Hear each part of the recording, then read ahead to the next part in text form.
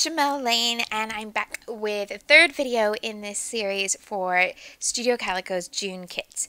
Today I am using the main kit plus add-on number two which is Twisty Slide. So add-on two has this great red and turquoise theme to it.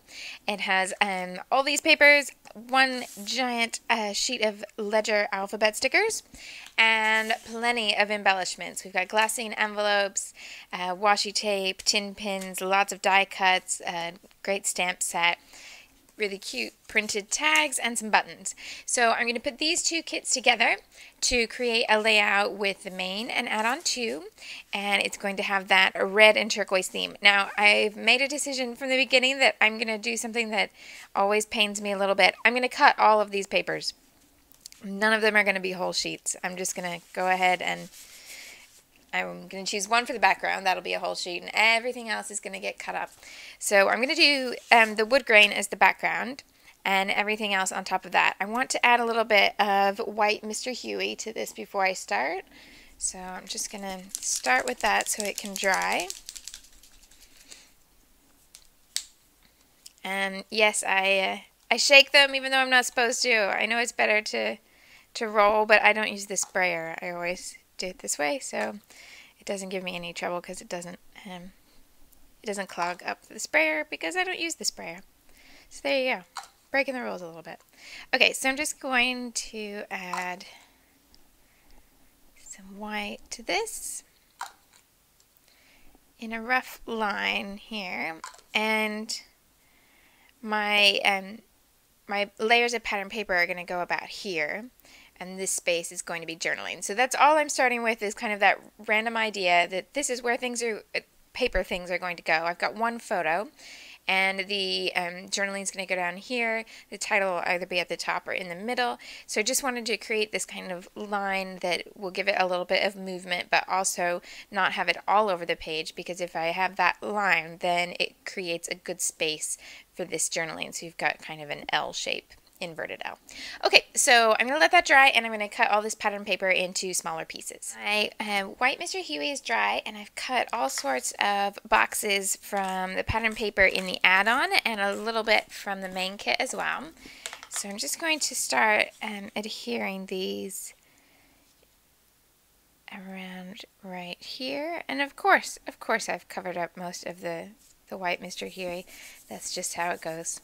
And um, with all of these layers of paper, I'm putting the adhesive about an inch in from all the edges because I want to be able to pull them up and have a little bit of texture and also be able to layer things on top um, or underneath of, of those layers so that I could come in with something else and be able to add it in the size, but mostly because at the end I'll go and curl all these layers up. So there's plenty of, of adhesive in the center to keep everything secure, but I do realize that it, it may look like things are a little bit um, wobbly because I'm not putting the adhesive right there on the edge.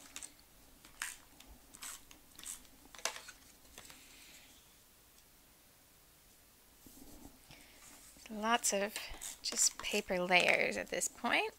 Try not to overthink this too much.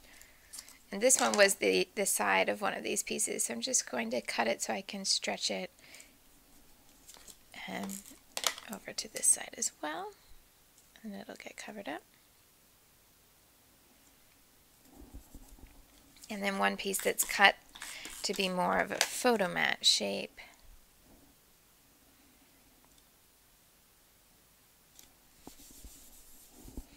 And my 4x6 photo on top of that.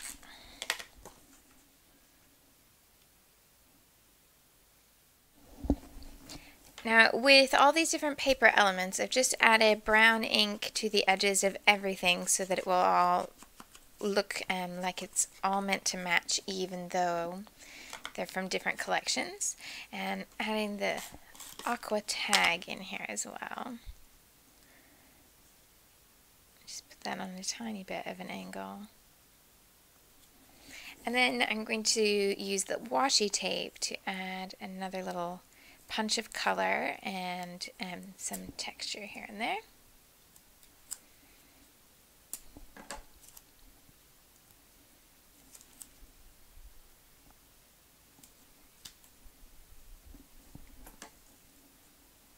Washi tape makes a really great way to mark where you want embellishment. So you can add it in a few places and then go back and put something over the top. So I tend to start with three spots of washi tape because then I can come back in and add more on top of that. So I may come back in with more tape, but for the moment I'm going to start with those three pieces. Okay, and then I want to start looking at where I could layer up some of these die cuts die cut pack, I picked out the things that had the most color in common with everything else I'd already used. So I pulled out all the things that were red, all the things that were turquoise, and then also some of the dark wood grain. And then I have three areas of embellishment so that I can start to layer um, different pieces on top of each other and add some of them with foam um, with foam tape or pop dots so that there's a little bit of dimension in each of the areas of embellishment. And then my next step is um, to bring in the other elements. So I want to include the title with the larger embellishment here. And I want something with a bit more dimension over here. So I'm going to go to the, um, the tin pins and pick one of these to go over there, but I need to get everything in the right spot before I put on put that on top. Um, but then I also want to work my title lettering in over here, keeping in mind that my journaling is going to be handwritten down here. Then the other thing I'm thinking is to reinforce this kind of line that I wanted on the vertical here, is to use the stamp set and come uh, from the from the top of the line and then scatter the different words throughout um, throughout that line. So that there's some word uh, some words up here and then they reappear down here as if um, that whole piece underneath all those layers still had the words there to show. So that's where I think I'm going with this and uh, we'll see if that works. With the stamp set from this add-on, I'm going to stamp in brown and just scatter the words starting at the top and then working on this kind of vague idea of a vertical line. So just going to use each, well, four of the words I think I'm going to use, each of those just once, and I'm using the Jenny Bowlin um, brown ink and brown sugar. I'll just tuck this so that it's connected then to that area of embellishment. Not too big a gap, but also not um, not too close so that you can't read it.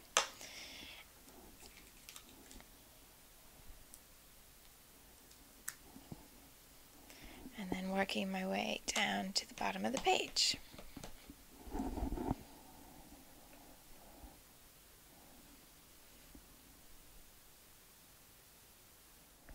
For the title, I'm going to use a mix of the flat stickers from the add-on, the October Afternoon Letterpress Lower, and the blue thickers from the main kit.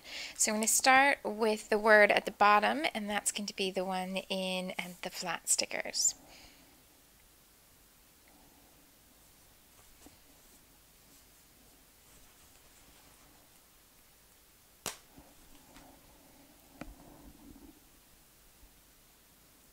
With the letter stickers for the title and the date and then all the journaling written in, I'm almost done at this point, but I started to realize that the blue from these letter stickers is quite a bit darker than the other elements on the page, and I wanted to add something to bring that together so that that color feels like it fits a bit more.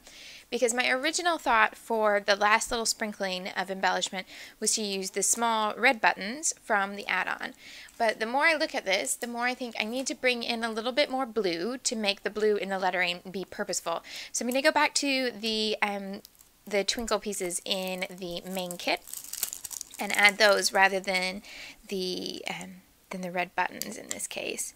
So I'm just going to do um, a few here and there.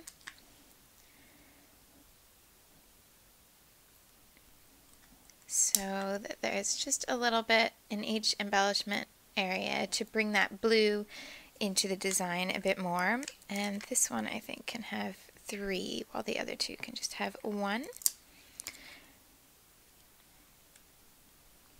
Put them in a little triangle around the embellishment so that everything is um, is brought together and I'm trying to overlap the edges wherever possible so that it brings the different pieces of the layout together.